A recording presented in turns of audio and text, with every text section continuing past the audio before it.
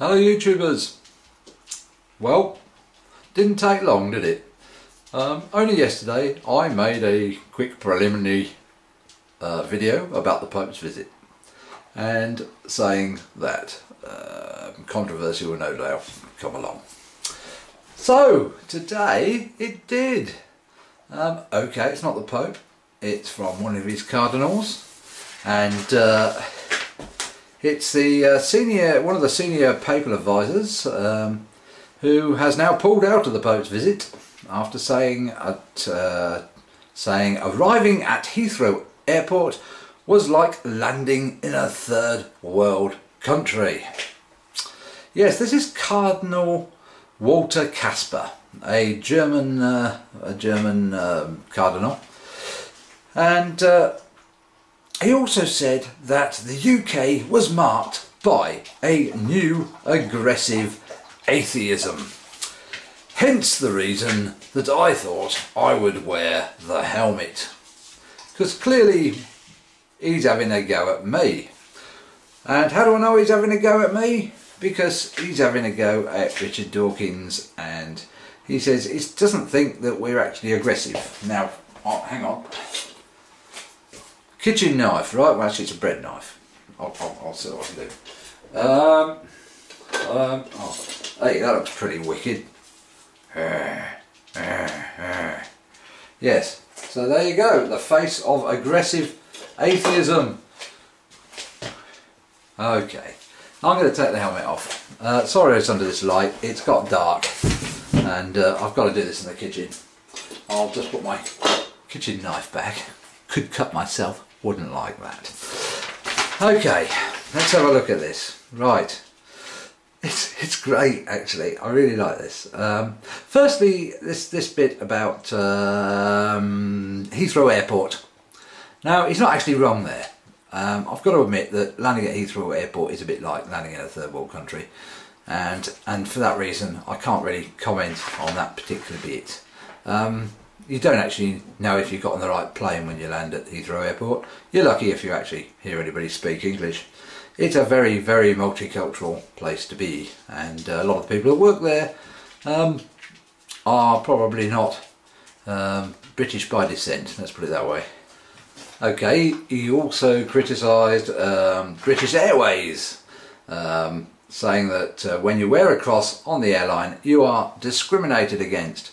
Well, Back in 2006 there was a case of one of the stewardesses who wore a cross and it was against company policy to wear any religious symbols and she took them to court and lost and subsequently lost her appeal. However since 2007 I believe that uh, British Airways has brought in new rules saying we don't give a shit who you are because we're a secular country anyway and um, thus done away with such things.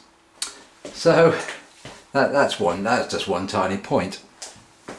So we've got back to this point where uh, Richard Dawkins is once again being uh, talked upon as being an aggressive atheist.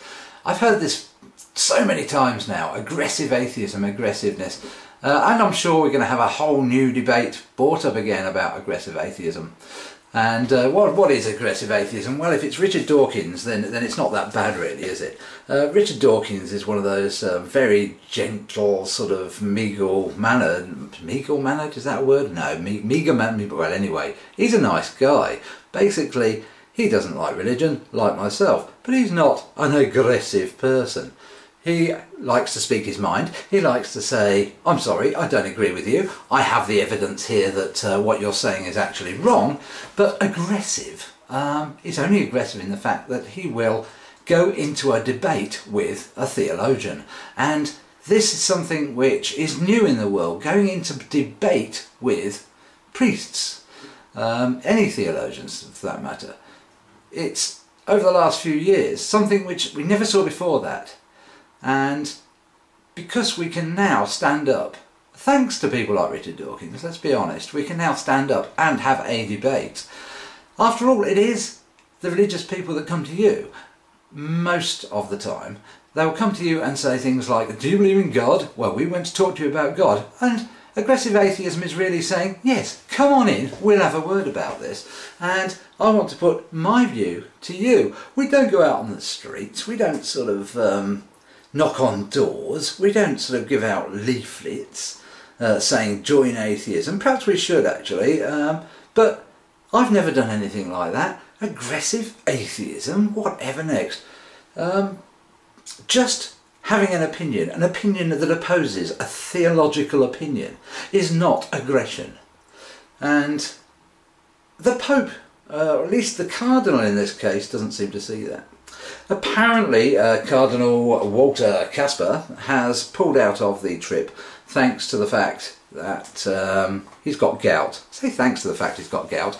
Um, gout is a very nasty thing, but probably thanks to him, gout was probably something he could. Uh, it's probably a lot less painful than the criticism he'd get if he'd have come on the trip. So um, gout, as I say, one of my uh, cousins had gout. Terrible thing. He moaned like mad and said it was one of the most painful things in the world. So I don't deny it, but I'd like to see some evidence of this guy's gout, wouldn't you? Um, anyway, that's just the first and he hasn't even got it yet, he doesn't even arrive till tomorrow and we're already having a little bit of a controversy.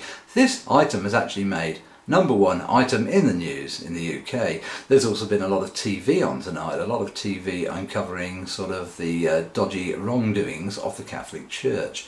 Um, I won't really go into that at the moment. Um, but as far as aggressive atheism goes, I don't think we need it. I think I think the Catholic Church is doing a fine job on its own of uh, making itself look like a right bunch of pricks. So uh, peace for now, and hopefully we'll have more to talk about soon. Take care, and no doubt we'll have a lot of discussions on aggressive atheism.